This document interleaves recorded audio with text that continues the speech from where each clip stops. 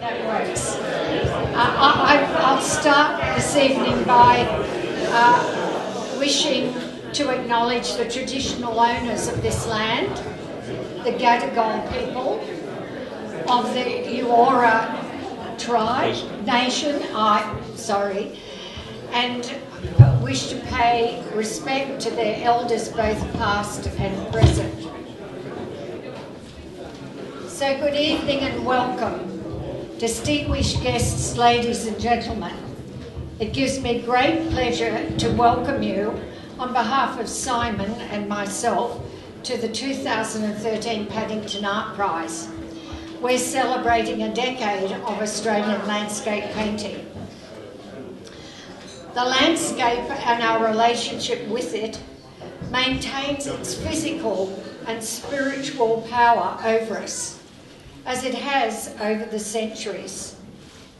And these wonderful paintings that you see tonight shine like beacons, I believe, that will lead us into the next decade of artists similarly seduced by the beauty and grandeur of our unique landscape.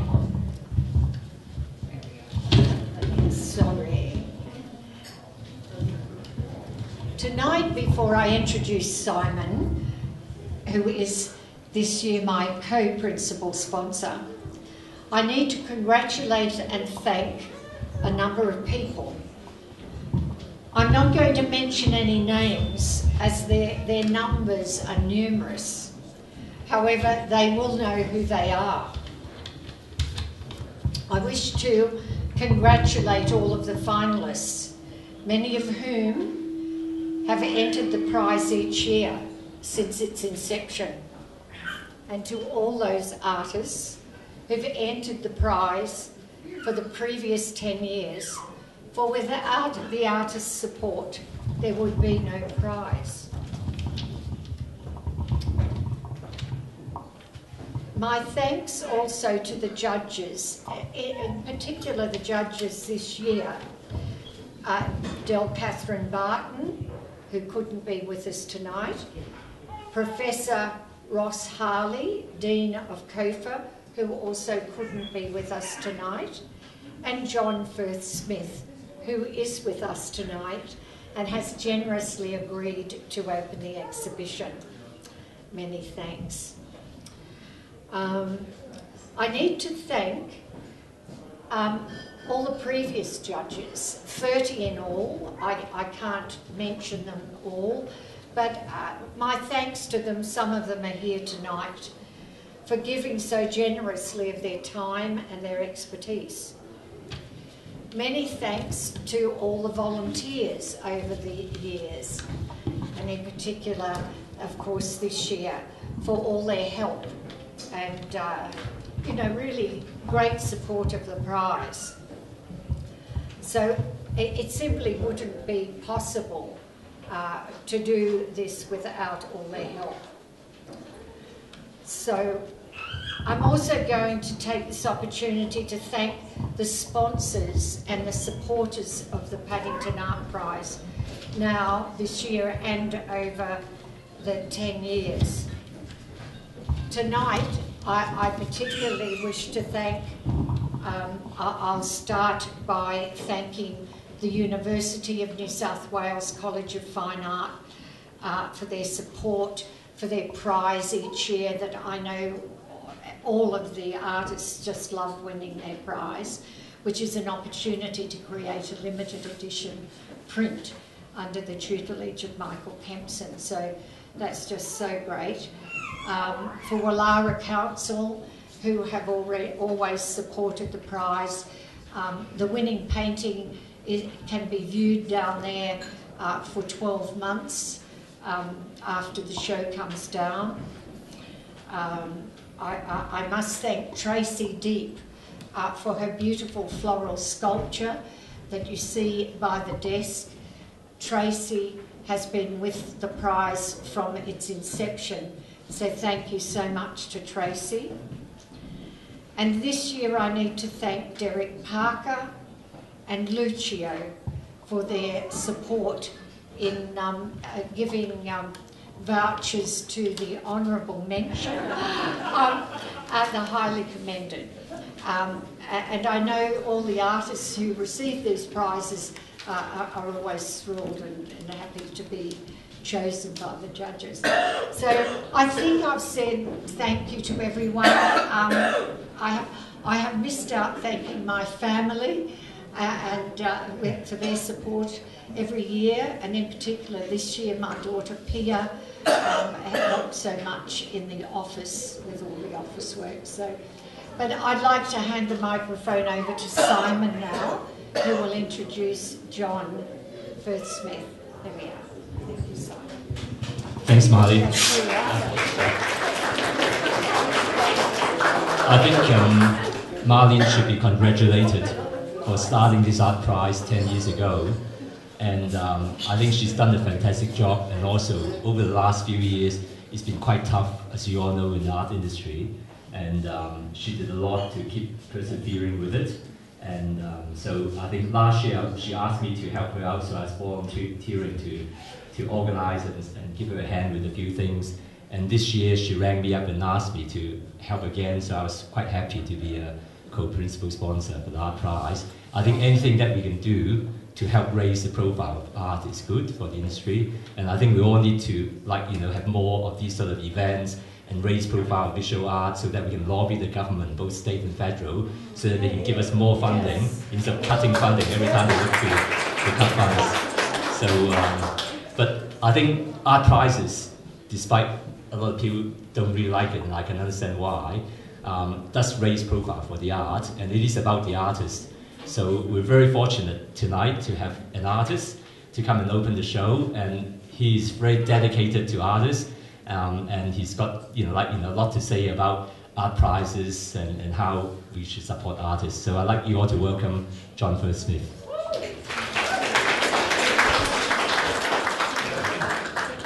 Thank you. Marlene blew into the thing. Anyway, uh, congratulations artists, you're all here, all the people that are hanging. And of course, uh, it's a difficult thing, this art prize thing, because I remember way back in the early 60s, you go to the Art Gallery of New South Wales, and they would have a roneo sheet of all the art prizes in New South Wales that you could enter. And there were probably about 10 prizes on the list, you know, from Gulagan Bone uh, traditional and, uh, you know, the Wollongong traditional prize and whatever, and you'd enter some of these things, and it was a nightmare entering the prize then. And I've entered prizes over the last, I don't know, not recently, not the last 20 years, but you know, it was a, a way of getting your work seen and shown, you know. And it's a very important thing when you, you're unknown and you're a young artist to get your work out there. And if you win the prize, it's fantastic often you're rejected, and I've been rejected many times. And I think about these people here, there something like 750 artists entered this prize. It's a lot of artists. It's fantastic that they're out there working. I mean, you know, and all the people that are here, it's even more fantastic because you're on show and somebody's won and people have, you know, and it's a wonderful thing. The strange activity painting where you're in a room on your own with your materials and you're trying to make something of significance, which is always a difficult thing. And not only significant to yourself, but significant to others, and other people might respond to it and actually get something out of the work. And so it's not an easy thing, and it's a neurotic activity for me. I mean, I don't find it enjoyable. I mean, it's you know, it's an obsessive neurotic activity. and there I am on my own in my studio, sort of pacing around, sort of wondering what the hell it all means and whether the paintings have any value or worth to any way, anybody other than myself. And basically, you aim high. I think you aim high. You aim. You think of art, and you think of what you possibly can achieve, and the people who have achieved things, and the history of art, and so on. And so it's not a difficult, it's, it is a difficult thing to actually, uh, almost not a difficult thing, it's a bloody difficult thing. Anyway, I'm congratulating everyone here and the winners and so on. And being, uh, but getting back to that private activity, a- and a show like this, which is made up of so many sort of quite diverse and different works, often works that are a bit quieter or take longer to discover as a viewer somehow miss out, and other ones that jump off the wall sometimes, um, you know, miss out because they're too sudden or something or whatever. So a, it's a difficult thing being a judge. I don't think any artist likes being a judge of other artists' work. And the process of choosing the 700 is difficult because of the internet and the transparencies and the images and things that you see are not the tactile qualities of the real work, you know. And being quite a tactile painter myself, I like to be able to physically see the work. Anyway, I think everyone took this judging very seriously. We went around and looked at every painting many times. We all had our uh, thoughts on every one of them, and uh, the prize winners ending up who they were, you know. So that's how it went. Anyway, thank you for uh, listening to me, and uh, you know, good luck with all you artists out there.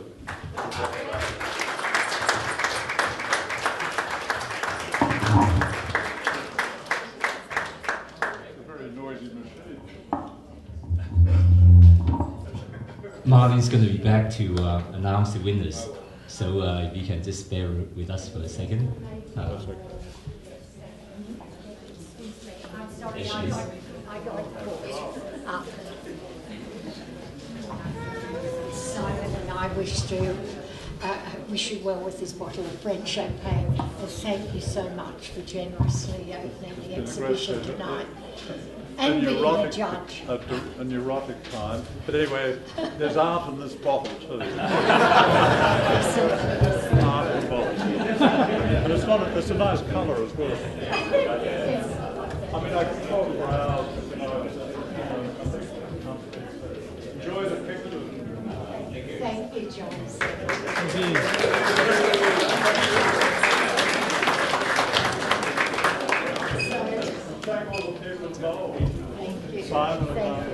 mean, you need these people that actually put the money up. I mean, uh, otherwise nothing happens. The other thing too, I must say, is in 1961, or around that time, and you- did get that sheet of paper from the art gallery, there are only two art galleries in Sydney, Song, and there were probably half a dozen artists, and uh, the art world has blossomed. The art world's huge now. I mean, I, you know, I've lost track of it almost. I don't, I don't know what's going on anymore. Way back then, it was a very different situation, and uh, it was like that with everything else in Australia. I mean, Sydney, if you went along, there were no delicatessens. You couldn't buy a good cappuccino or a coffee anywhere. You know, there were no hardly any restaurants. I don't know. if Some people of my age would remember that.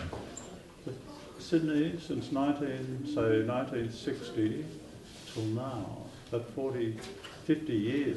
I mean, what a change! What a change! People have travelled, people brought back their ideas from travelling, people have evolved, we've become aware of the country a lot more, we're aware of the landscape. And this is a landscape prize, I didn't mention that. And the landscape is interesting because when I came in here tonight, I saw that one over there in the bush, and I've just come back, I'm living in the bush at the moment, and I thought, well, I've been driving through this bush country, and then the one down on the ground is like the city in the distance in the afternoon by the time I get to Sydney. And then when I get to where I have a studio in Sydney, it's all that rubbish on the side of the street.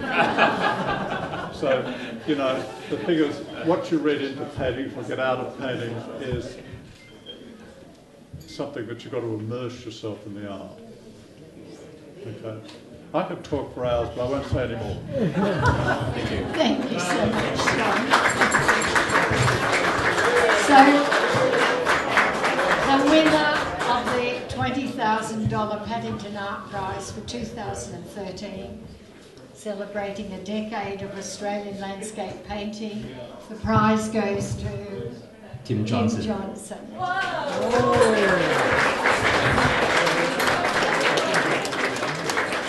Where is he? Is he here? Thank you, Tim. Congratulations, Tim. Well done, well done. Thank you. But if you would like to, Tim will say just like to thank the sponsors, Simon and Marlene. Um, it's quite humbling to win. And um, trying to think of something to say after what John said. There's not much I can say because he gave a great speech. But I thought of one thing. I was at uh, in Mosman at the art prize there, and I actually won. And they let me know beforehand. And I was standing behind Ken Done, who you probably heard of. And uh, they announced the winner, and I sort of shrunk a little bit because it's a little bit embarrassing to win something. And Ken Done turned around and he said, "You knew."